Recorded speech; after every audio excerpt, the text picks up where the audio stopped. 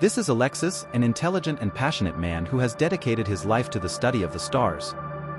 He is warm, friendly, and approachable, always willing to share his knowledge and enthusiasm with others. His curiosity is insatiable and he loves nothing more than to explore the mysteries of the universe. He has been working on the time machine.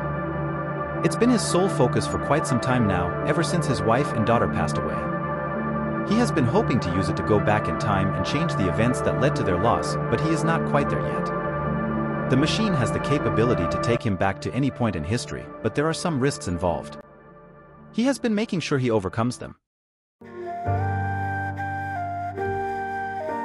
Alexis gazed up at the night sky, his eyes fixed on a faint smudge of light.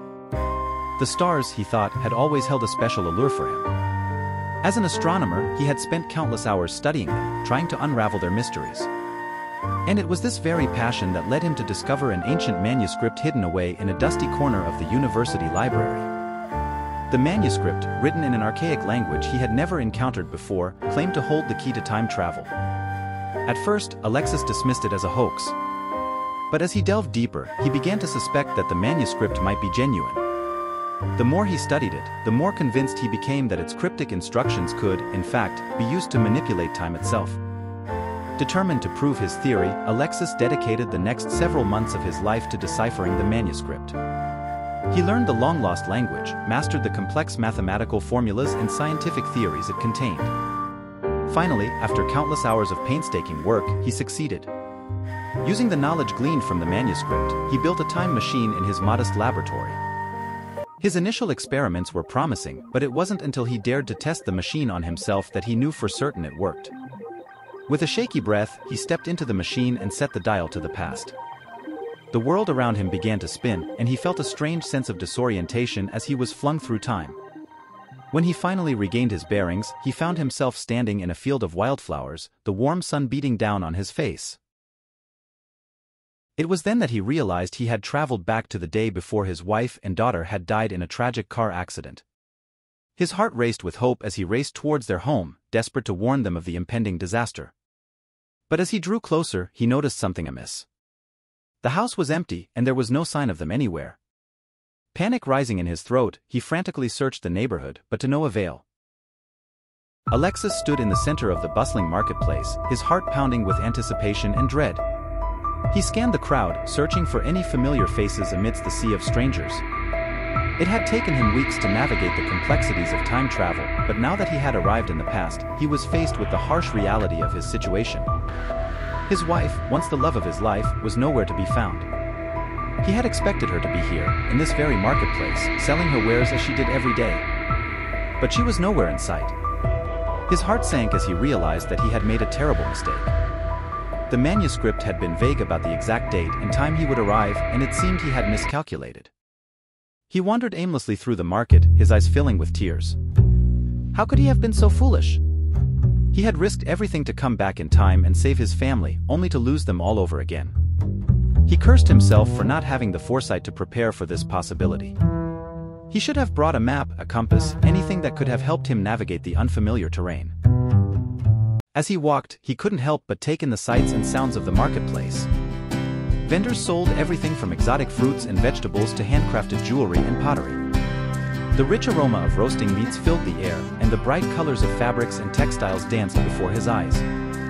Despite his despair, Alexis couldn't help but be drawn in by the vibrancy of the scene. Eventually, he spotted a woman who bore a striking resemblance to his late wife. Her features were similar, but her hair was longer and she wore a different style. Her clothes were more modest than what he remembered his wife wearing, but there was no mistaking the familiarity he felt when he looked at her. He approached her cautiously, his heart pounding in his chest. Excuse me, he said, trying to steady his voice. I'm looking for someone. Her name is Emily. Do you know her? The woman looked at him with curiosity, her eyes narrowing. She glanced around as if searching for someone else before responding. I'm sorry, but I don't know anyone by that name. Alexis felt a pang of disappointment. It wasn't her. He had been hoping against hope that it was. He thanked the woman and turned to leave, his shoulders slumped in defeat. As he wandered away, he spotted a young girl who bore a strong resemblance to his daughter. She was laughing and playing with a group of other children, her carefree spirit shining through.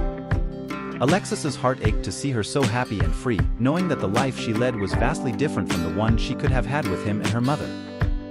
Eventually, the girl noticed him watching her and broke away from her friends. She walked over to him, a curious expression on her face.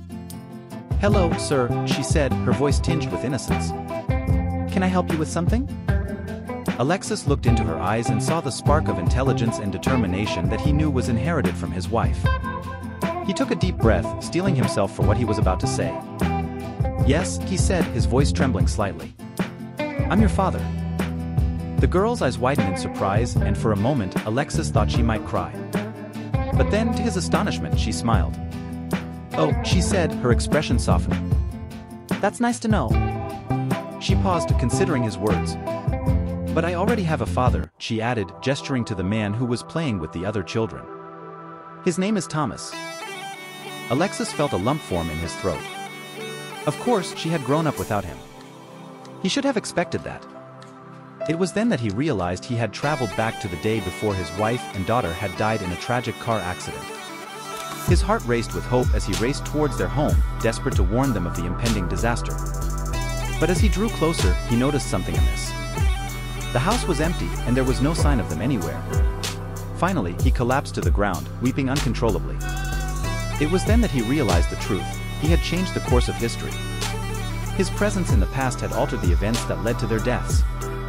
As he sat there, tears streaming down his face, he wondered if he had done the right thing. Was it better for them to have died, or for him to have saved them and altered their fate? The sun began to set, casting long shadows across the field. Alexis knew he couldn't stay here forever. With a heavy heart, he returned to his time machine and set the dial once more, this time traveling back to the present. As he stepped out of the machine, he closed his eyes and took a deep breath, trying to steady his racing thoughts. As Alexis contemplated the events that had transpired, he realized with a start that his actions had been nothing short of disastrous. His attempts to bring back his late wife and daughter had not only failed but had also left him with a profound sense of loss and guilt. He knew that he could not continue down this path any further, he had to find a way to set things right. The decision was agonizing, but he knew it was the only choice. He had to live with the knowledge that he had forever altered their lives, and that he could never truly give them the happiness they deserved. His wife, now resigned to her fate, had accepted the fact that she could never return to her old life. She had grown to love her new husband and their children, and the thought of leaving them behind was almost unbearable. His daughter, too, had found a sense of purpose and belonging in the community she had grown up in. The thought of being uprooted from everything she knew and loved was almost unthinkable. Determined to make the best of the situation, Alexis threw himself into his work, pouring his heart and soul into his research.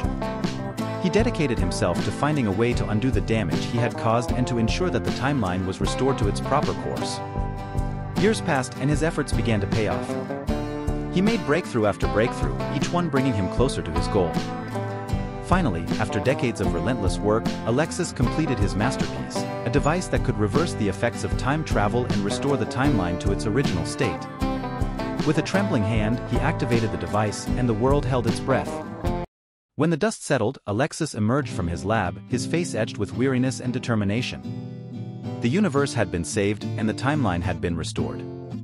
But for Alexis, the greatest triumph was the knowledge that he had done everything in his power to right the wrongs he had committed.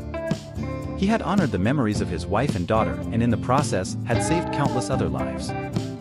As he looked out at the world around him, Alexis knew that he had finally found peace. The ghosts of the past had been laid to rest and the future now held the promise of new beginnings.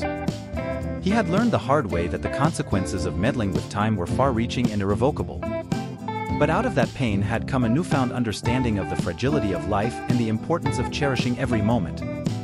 And so, Alexis continued his work, dedicating his life to studying the universe and protecting it from those who would seek to manipulate it for their own gain. In the end, he found solace in the knowledge that he had done his best to make things right and that his loved ones would always be with him, forever etched into the fabric of time itself.